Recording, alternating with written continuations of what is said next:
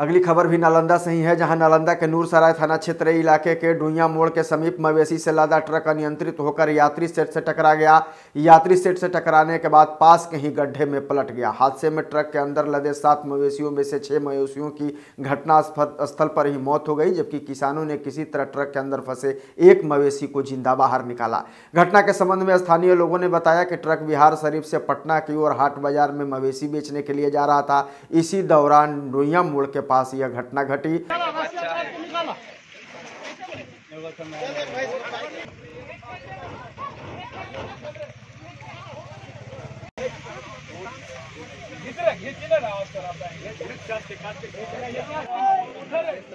यहाँ पे ग्राम ककड़िया के चिमनी मोड़ बोला जाता है और यहाँ 407 तरक है। अंतरियांतर होने का कारण यहाँ चिमनी मोड़ पर तरक कलट गया। इस पे भैंस लोट था। मतलब छः गो है चार गो बड़ा।